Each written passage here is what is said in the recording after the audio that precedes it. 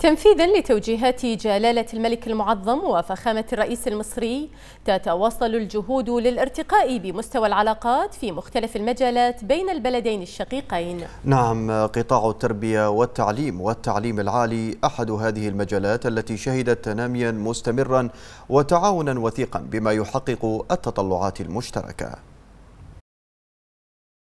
أثر إيجابي فوري إثر زيارة الرئيس المصري عبد الفتاح السيسي لمملكة البحرين في تعزيز التعاون الثنائي في كافة القطاعات وخصوصا القطاع التعليمي لتحقيق التكامل المنشود بين الجانبين. العلاقات البحرينية المصرية علاقات ممتدة منذ عقود لا سيما في القطاع التعليمي الذي استقبل أول بعثة تعليمية مصرية منذ بداية التسعينيات وتم توسيع آفاق التعاون لتصل اليوم إلى التعاون في برنامج تنفيذي يختص في مجال التربية والتعليم والتعليم العالي ما سيعزز التنسيق المتواصل والمشترك ويؤكد على المضي قدما في تطوير أواصر التعاون للوصول إلى النتائج المرجوة.